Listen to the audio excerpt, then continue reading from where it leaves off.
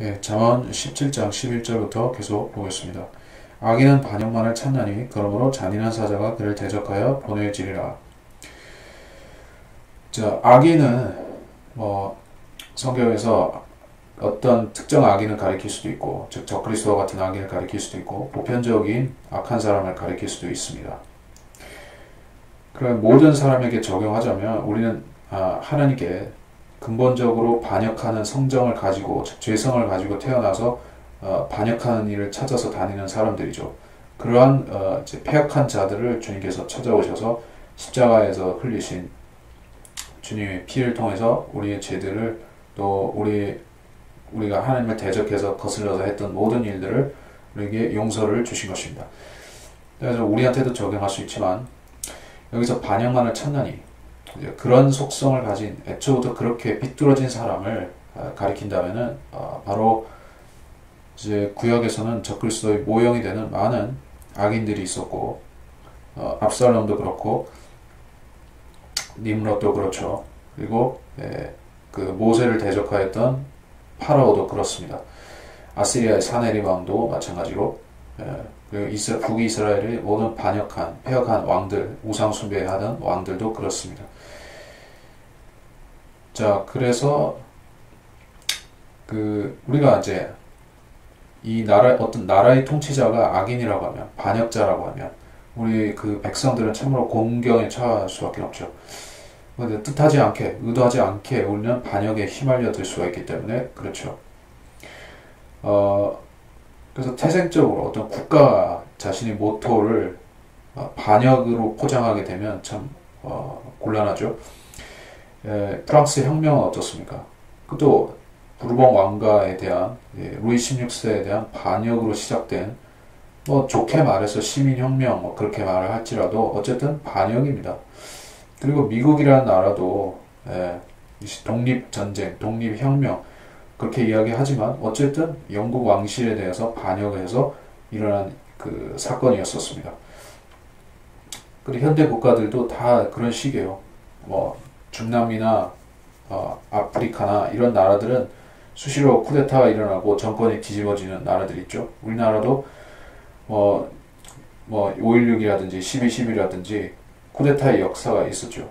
반역과 반역으로 이어지는 역사. 근데 이게 인류의 역사지만 어쨌든 그, 그 역사 속에 악인들이 개입해 있다는 것입니다. 하나님께서는 궁극적으로 모든 반역, 어, 왕에 대한 반역이든 어떤 국민 어, 어떤 정권에 대한 반역이든 모든 반역의 근본에 하나님께 대한 반역이 있다고 말씀을 하시는 것이에요. 그래서 그 반역하는 자들을 악인이라고 부르시는데 그들을 처리하는 하나님의 방식이 잔인한 사자를 보내신다. 네, 이렇게 말씀을 하고 있습니다. 메신저 여기서는 어, 라이온이 아니라 메신저 사자 전달자를 가리키는 것입니다. 그래서 복음을 전하는 사람은 기쁜 소식을 전하는 어, 그런 복된 소식을 전하는 전달자이지만 악한 소식을 전하는 어, 사자는 누가 되겠습니까? 어, 마귀가 보내는 존재, 어떤 마귀적인 존재.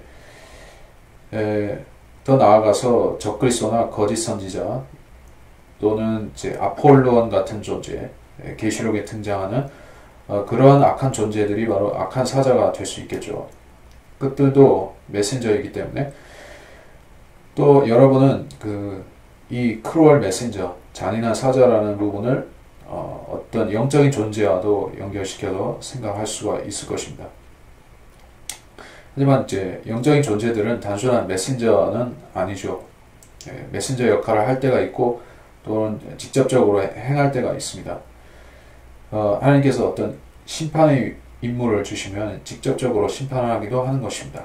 그래서 여기서 어, cruel messenger, 잔인한 사자라는 것은 그런 소식을 전하는 악한 소식을 전하는 자일 수도 있고 집행하는 자일 수도 있는 것입니다. 그리고 하나님께서 사용하시는 그, 그 정복자나 독재자나 모든 뭐 파시스트 독재자건 어, 공산주의 독재자건 모두 잔인한 사자라는 것입니다. 자, 한국 사람들은 왜 이, 이토록 잔인한 메신저, 예, 그 하나님께서 허락하신 그 잔인한 사자가 북한에 있어서 고통을 당해야만 되는 것입니까? 우리가 하나님께 무수한 세월 동안에 걸쳐서 복음을 대적하고 반역한 역사가 있었, 있었고 과거에 그랬었고 지금도 그렇기 때문에 그런 어려움을 당해 오고 있는 것입니다. 뭐 그렇지 않다면은 하나님께서 예, 우리에게 그런 자, 그런 가혹한 처분을 안 내리셨겠죠. 17장 12절 미련한 짓을 행하는 자는 어리석은 자를 만나느니 차라리 미련한 짓을 행하는 어리석은 자를 만나느니 차라리 새끼 빼앗긴 암콤을 암곰을 만날지니라. 이제 암콤, 암곰, 새끼 빼앗긴 암곰은 어떻습니까? 예, 만나는 자마다 이게 그 성질 부하가 치밀어서 다 찢어버리고 산산이 아, 갈기갈기 찢어놓겠죠. 이제 곰과 사람이 예, 맞상대해서 싸울 수가 없습니다. 예, 이 지상에서 뭐 사자가 세다, 호랑이가 세다, 뭐 여러 가지 얘기를 하지만은 뭐 특별히 뭐 아프리카의 코뿔소 같은 어, 그런 코뿔소나 같은 경우는 상당히 흉폭하지만 그 이제 일반적으로 전 세계에서 가장 그 육식성 포유류 중에서 어, 흉폭하고 센 존재가 곰이죠. 또 이제 새끼를 보호하기 위해서 모든 어, 그 감각이 곤두서 있는 암콤은 엄청난 폭력적이죠. 그래서 미련한 짓을 행하는 어리석은 자. 그러니까 그, 그 어리석은 자가, 어, 그 나라를 다스리는 위치에 있다고 하면, 어떤 그 사람들을 인도하는 위치에 있다고 하면, 예, 그 사람이 가령 대통령이나 수상이나 왕이라고 하면 그 백성은 이런 처지가 된다는 것입니다. 예. 내부의 적이 더 무섭다. 예, 그런 얘기가 되겠죠. 13절 선을 악으로 갚는 자마다 악이 그의 집에서 떠나지 아니하리라. 그런 사람이 많이 있다는 얘기입니다. 그 대표적으로 그 북한의 김일성, 김정일, 김정은 이런 자들이 바로 선을 악으로 갚는 자들이죠. 왜 그들이 그렇게 그리스도인을 싫어하고 미워하고 어, 박해하고 죽입니까? 또 왜 성경을 없애려고 성경을 없애고 불태우고 어, 그거를 보는 사람도 다 죽이려고 하죠. 선을 악으로 갚는 자이기 때문에 그렇습니다. 하나님께서 예, 이 땅에 그리스도인들을 두셔서 그들을 통해서 아, 한 민족이 축복을 받을 수 있게 하셨는데 그래서 지금까지 우리가 하나님의 은혜 덕분에 예, 부귀와 번영을 누리고 살아왔었는데 2세기와 21세기에 그런데 그 하나님을 원망하고 싫어하고 저주한 자들이 있는 것입니다. 그들이 바로 선을 악으로 갚는 공산주의자들이고 또 우리나라도 그렇지만 다른 어느 나라, 세계 어느 나라도 다 그렇습니다. 선을 악으로 갚는 자들. 그들은 바로 기독교를 박해하는 자들이요. 그리스도인들을 멸시하는 자들이 것입니다. 어, 14절 다툼의 시작은 물을 세게 하는 것과 같으니 싸움이 일어나기 전에 시비를 멈추라. 이제 물을 예, 물이 새기 시작하면 어떤 그 물탱크의 바닥에 그 구멍이 나서 물이 새기 시작하면 그것이 끝까지 색이 끝까지 빠지기 전까지는 물이 계속 셀 수밖에 없다. 그래서 다툼이라는 것, 뭐 국가와 국가의 다툼, 개인과 개인 사이에서의 시비와 갈등 이라는 것도 그렇습니다. 이제 시작하면 그래서 이제 감정이 충돌하는 부분 때문에 멈추기가 쉽지 않다는 것입니다. 이 세상에서 어, 개인과 개인의 갈등을 조정하고 또는 단체와 개인의 갈등을 조정하기 위해서 어떤 실정법이라는 것이 있지만 그 법은 어디까지나 법일 뿐이고 어, 그것이 어떤 개인사적인 문제를 계속해서 법, 법으로 연결시켜서 처리를 하다 보면 소송이 끝이 없게 되고 예, 그런 것들 때문에 나라가 그 말하자면 소송 천국이 소송 천국이 되어버리는 경우가 많습니다. 미국 사람들도 그렇지만 한국도 예, 특히 에, 그죠 그 개인적인 그리고 이제 인간적으로 풀 수 있는 부분을 이제 법에 의존하는 것이 너무나 많습니다. 그래서 그것은 이제 어, 그 눈에는 눈, 이에는 이라는 하나의 보복으로 이어지면서 그것은 계속 끝없이 갈등을 이어가게 되는 것입니다. 그래서 어, 성질이 급한 민족 같은 경우에는 에, 이제 결국에 이슬람권이라든지 뭐 힌두교권이라든지 이런 데서는 아예 그 칼로 보복을 이제 무력으로 보복을 하는 것으로 결말을 맺게 돼 있죠. 그 그것이 그 사람들이 구약식 율법을 그대로 적용하기 때문에 그렇습니다. 근데 현대국가에서는 그렇게 안 하지만 15절 악인을 정당화시키는 자와 의인을 저주한다는 둘 다 죽게 가증하니라. 그 아, 악인을 정당화시킨다. 누가 그렇게 하는 것일까요? 악인을 정당화시키는 자들은 대표적으로 이제 역사를 왜곡하는 자들이 그렇게 하죠. 예, 위인전기를 쓰는 사람들이 그런 일을 많이 하고 또 이제 어, 학교 선생들, 교수들 이런 사람들 특히 어, 공직자들 중에서 교육에 관한 사람들이 다 이런 그 책임을 지는 사람들이죠. 한국의 역사가 지금 어떤 정부의 입장에 따라서 좌파냐 우파냐 이런 부분에 따라서 그 관점이 달라지고 어떤 기술되는 부분이 춤을 추는 것이 많이 있죠. 그래서 뭐 10년 전에는 아니었다가 지금은 진리가 되어버리는 것이 너무나 많습니다. 또 애초에 사실과 진리가 아님에도 그렇게 통용되는 것들도 허다한 것이에요. 그래서 뭐 국정교과서가 좋다 나쁘다 이런 부분도 결국에는 역사관을 장악하기 위해서 무리수를 두는 것입니다. 지금의 정도 그렇게 하고 있어요. 그런데 악인을 정당화시키는 것은 이게 하나님께도 참으로 그 진노를 불러일으키는 일이라는 것입니다. 어, 현대인들의 상식 속에서는 뭐 마틴 루터 킹이라든지 넬슨 만델라라든지 또는 뭐존 F 케네디 이런 식으로 그 현대의 어, 영웅들 아주 거장들 영웅들 이런 존재들이 아름답게 각색되어서 선전되고 있습니다. 뭐 미국은 더 말할 나위도 없지만 어, 거기는 뭐 심지어 마틴 루터 킹 킹의 기념일 마틴 루터 킹 데이라는 것도 있을 정도죠. 그 사람이 실제로 어떤 사람이었는지 알면 진짜 기절 초풍할 정도인 것이요. 아주 더러운 어, 그 사생활을 가진 인간이었었죠. 그 만델라는 공산주의자였고, 그리고 이제 요한 바오로 2세 얼마나 이제 최고의 어, 순관 그 신앙인으로 추앙을 받는 것입니까? 전 세계 수, 수, 십수억의 사람들이 아마 존경에 맞지 않을 것입니다. 수십억이 될지도 모르겠어요. 근데 그 사람은 폴란드 출신 그 공산주의자 그 왜 공산주의자인 어, 그 사람을 교황으로 등극시켰는가 하면 이제 그때 당시 냉전 시기에 그 로마 카톨릭이 공산 그 소련과 이제 그 제휴하기 위해서 그런 폴란드 출신 교황을 내세웠던 역사가 있습니다. 그 지금은 또 어떻습니까? 어, 신냉전이 등장하고 있죠. 그 중국과 러시아 그리고 그 상대편에서는 미국이라는 counterpart, part가 예, 서로 대립각을 세우고 있는 한 신냉전의 시대가 도래했다. 어, 그런데 지금 이 교황은 공산주의의 아주 본산이라고 할 수 있는 예, 제수이트 출신의 어, 프란시스코 교, 프란시스코 교황이 잡고 있습니다. 자, 무슨 얘기냐. 이 다 악인들이고, 악인들이 지금 영웅이 되었습니다. 얼마나 많은 사람들이 그 악인을 존, 존경하게 되었습니까? 그걸 존중하도록 만들어 놓은 언론, 매스컴, 신문, 뭐 CNN이라든지 MBC라든지 한국의 무수한 언론들 이런 자들이 다 이게 미화시켜 놓은 것이요. 한국의 국내 정치도 그런 게 많지만 그래서 그렇게 정당화시키는 자들, 뉴스를 쓰는 자들, 기자들, 앵커들 이런 자들이 현대의 악인을 정당화시키는 그 아주 사악한 자들이다. 의인을 저주한 자들은 죽게 가증하다. 자, 그렇습니다.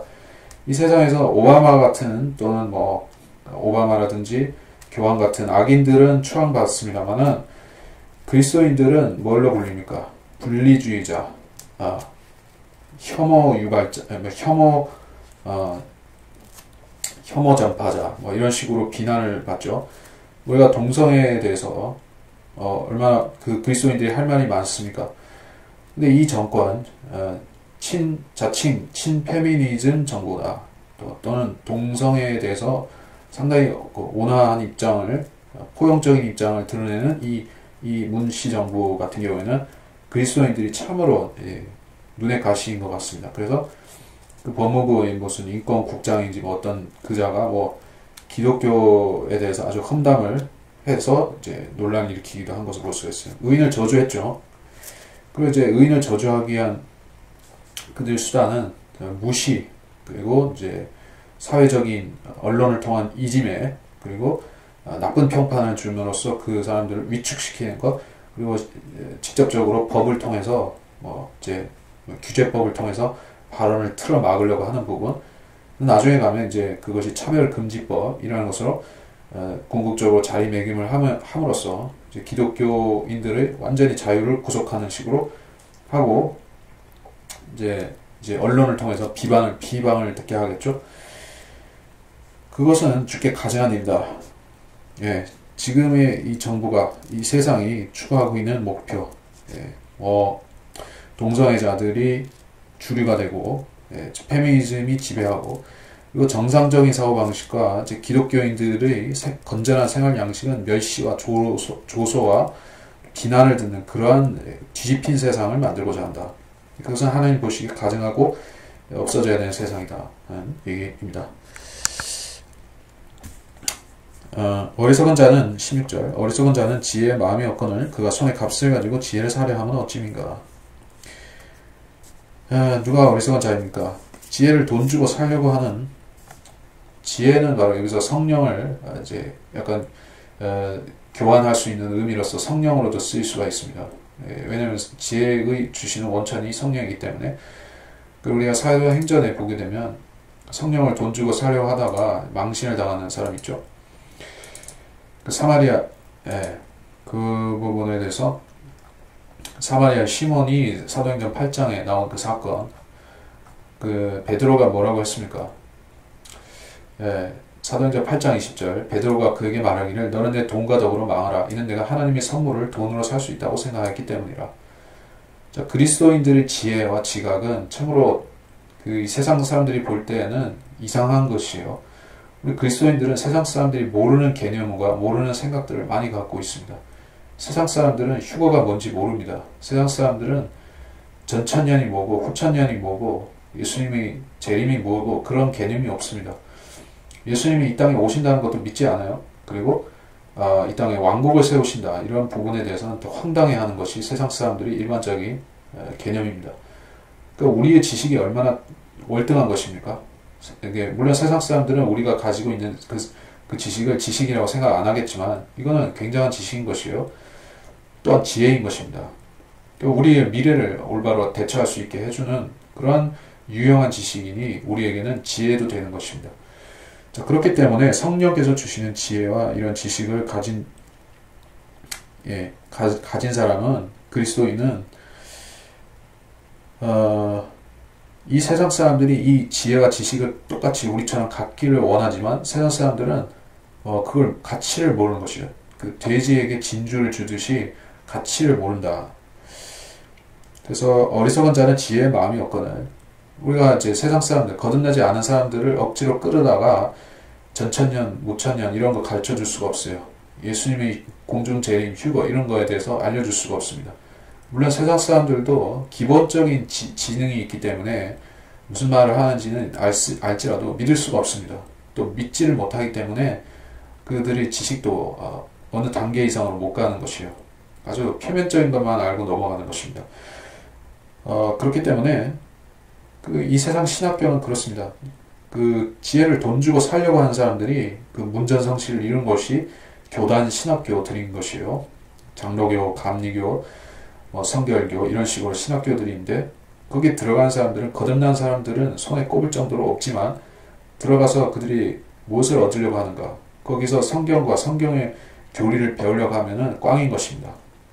왜냐하면 기본적으로 어, 그것을 추구할 수 있는 자격이 안 되는 사람들이기 때문에 거듭나지 못한 물보임 받은 신자 교인들이기 때문에 그것이 안 되고 또 그걸 가르치는 교수라는 사람들도 교단 신앙에 의해서 그, 그 교인으로 훈련된 사람들이 대부분이라는 것입니다. 그래서 돈에 손에 값을 가지고 지혜를 살해야 하는 사람들이 있지만 즉 그 목사나 어떤 전도사나 이런 학위를 그 자격을 가지고 자격증을 가지고 하나님의 종이 될 수 있다.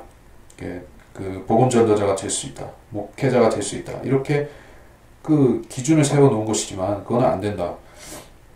하나님의 지혜는 반드시 거듭난 사람이 기본이고 거듭났으면 그 다음에 하나님의 바른 말씀, 한글 킹제임스 성경을 기조로 해서 바른 말씀을 공부해야지 그 사람이 영적으로 자리가 잡히고 성장한다.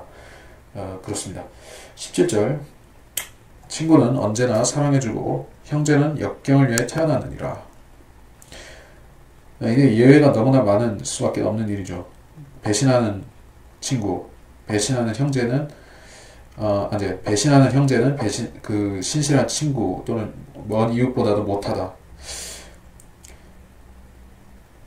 그런데 이제 그리스도인들은 우리의 그 형제, 우리의 친구 변치 않고 예, 변심하지 않고 뒤에 통수 치지 않는 우리의 유일한 형제와 친구가 되는 분이 바로 이제 성령님이고 또한 예수 그리스도 우리의 구주이신 예수 그리스도께서 그런 분이죠. 원래부터 우리의 편이 되어 주시기 위해서 계신 분이 예, 우리의 친구이자 형제인 가장 밀접한 형제인 그분이 바로 어, 우리 날 때부터 우리 편이신 그분인 것입니다. 이 세상의 친구나 세상의 형제는 항시 조심할 수밖에 없습니다. 왜냐하면 조석변개하는 것이 많기 때문에 어, 형제는 친구보다 좀 낫다고 생각할지 몰라도 세상을 보면 그렇지가 않죠. 마지막 때가 되는 것을 보면 뭐 친구든 형제든 믿을 수가 없는 시절이 오고 있습니다. 또 우리는 이제 죄성을 가지고 살아가기 때문에 그리스도처럼 모든 사람을 순수하게 사랑할 수도 없는 사람들인 것입니다. 18절 명철이 없는 자는 손뼉을 치며 그의 친구의 면전에서 보증을 서느니라. 이제 보증을 선다.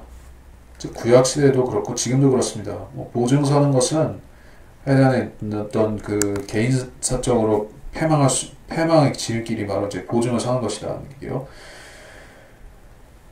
그 근데 여기서 손뼉을 친다. 그것은 손뼉을 친다는 것은 어떤 그 자기가 그 굴레에 들어간다, 책임을 진다 하는 뭐 의식적인 부분이 될 수 있고 아니면 그 그것을 어떤 과시적으로 자랑하는 의미로서 손뼉을 쳤다고도 볼 수가 있어요. 많은 사람들이 자기 어, 자기의 위신을 위해서 예, 체면을 위해서 어, 그 보증을 사는 경우가 특별히 그 어떤 금전적인 것도 문제가 되지만 그래서 어떤 사람에 대해서 보증하는 것도 예, 그 이 사람이 신실한 사람이고 어, 정직한 사람이고 우리가 누구를 그렇게 소개하는 경우에 어, 우리는 그 사람을 보증하는 셈이 되는 것이죠. 그래서 이제 어, 교회 지역 교회 안에 어떤 사람을 뭐 저는 그것에 대해서 직접적으로 뭐 경험 유 경험이다 이렇게 말하기는 어렵지만 사람을 데려오는 것도 그렇습니다. 우리가 그 사람을 한 최소한 10년 뭐 이렇게 만나보기 전에는 잘 모르는 것입니다. 뭐 5년이면 좀 알지만은 근데 뭐지 만나지도 얼마 안 된 사람을 이제 그 친구라 부를 수 있겠습니까? 그 사실 뭐 거듭났다는 거는 그 사람의 말로서는 그 그렇게 인정하고 듣지만은 진짜로 그런지 아닌지 속에 무엇이 있는지 그런 부분은 체험하고 이제 가까이 예, 있어 봐야지 알 수가 있는 부분이다. 친구의 면전에서 보증을 서느니라.